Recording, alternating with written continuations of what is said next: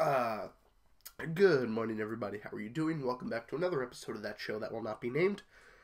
I am your host, Brian, or Two Game Prince.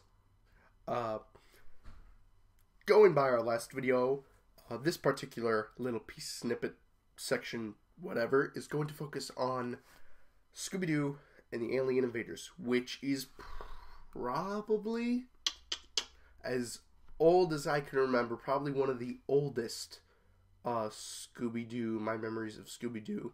Uh, before that being uh, the Boo Brothers. Now, the thing I love most about Scooby Doo and the Alien Invaders is it's one of the first, as far as I know, as far as I know, the, one of the first canonical introductions uh, of uh, aliens into the Scooby Doo universe which I found super interesting because, you know, stereotypical, oh, Scooby Doo, they go find a bad guy, unmask them, they're human, humans, and then, you know, adding that whole, you know, life lesson, humans are the real monsters in this world. uh, but no, in this one, they're actual aliens. And Shaggy falls in love with an alien. So it, it was it was just very interesting in the end, and yeah, it was sad to see them leave and all that crap. But I thought it was super interesting. And then they had like I like how they're still all these years later adding in alien stuff into the show. And it's just like why why is the gang so surprised? They've seen aliens before. Personally, they've known aliens in this movie. They were I guess you could say friends, acquaintances of some sort. They liked them enough to help them out. So I don't know why they seem so surprised now. But it's like uh, there was uh, in one of the newer episodes of uh, What's New Scooby Doo.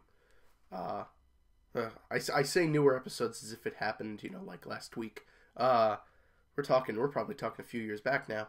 Uh, and what's the Scooby Doo when the alien egg breaks free in the lab and it's like, oh shit, aliens, uh, what are you guys so surprised about? You've literally seen aliens in a movie. You were friends with an alien for a little while. Like, uh, I don't get it. But I originally, when I when I saw these movies, mind you, uh, I saw Alien Invaders back on VHS. I saw all Miles Scooby Doo films on VHS, and I'm so mad we never kept any of them. We either sold them, or they get lost, or something, or left in storage, or some shit like that. But we we forgot all of them. They're gone. And when I had originally seen them, it was originally Alien Invaders that I thought the pilot episode of Courage Cowardly Dog was on because alien stuff, you know, I originally thought that, oh, it's an alien Scooby Doo movie, dogs and aliens, so that must have been Courage, dogs and aliens, uh, Chicken from Outer Space must have been on that VHS. No, I was watching a video the other day and somebody explained that it was actually on The Witch's Ghost, which is probably going to be the last video of this series. But um, Scooby Doo and the Alien Invaders, like I said, one of my oldest introductions to Scooby Doo, one of my favorite just because of the storyline and everything. If I had to pick out one fault from the film, it would be you can kind of tell already tell who the bad guys are at the beginning of it. Uh figured it was the three people working on the satellites. Had a feeling right from the get go. Uh, kind of too easy to figure out. And of course, the MPs were too suspicious, so obviously they were working with them. So when it comes to detective wise, how well the movie was at slowly feeding you information for you to try to decide who the bad guy was, too easy to pick, uh, pick out. Uh, and that would be my only gripe with the movie. Other than that, fantastic scenery, great music. That that whole song, "The Aliens Are Here," such a great song. I don't know what it is about this Silver Age-ish Scooby Doo music. It was just fan freaking tastic. I mean, back in the 1960s or 1970s or whatever the hell it came out, it was very like malt shop Woodstock type music that they just threw in. But then after they got like into early 2000s and they started making it its own music, making their own music for the movies, it was just fantastic. And uh, um, also really liked uh, Alien Invaders also introduced one of my favorite uh, one-time add-in Scooby-Doo characters, Lester. He's the crazy, kooky conspiracy UFO guy who lives in the desert and paints pictures of space.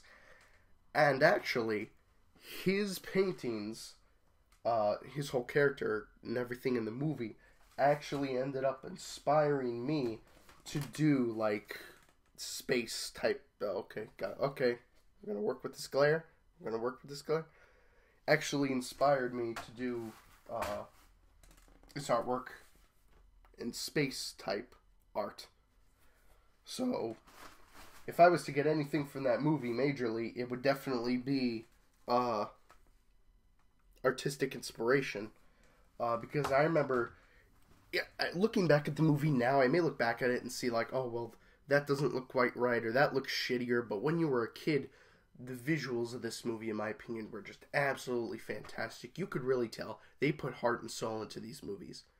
Something about these four particular Scooby Doo films, and especially Alien Invaders, was just absolutely fantastic. It was a very good transition from, you know, like ghosts and goblins to space technology and things from outer space. Absolutely fantastic. Um, I think that's uh, I think that's about pretty much going to do it for this uh, episode. I will see you next time with Scooby Doo on Zombie Island. Alrighty, I'll see you guys there. Bye bye.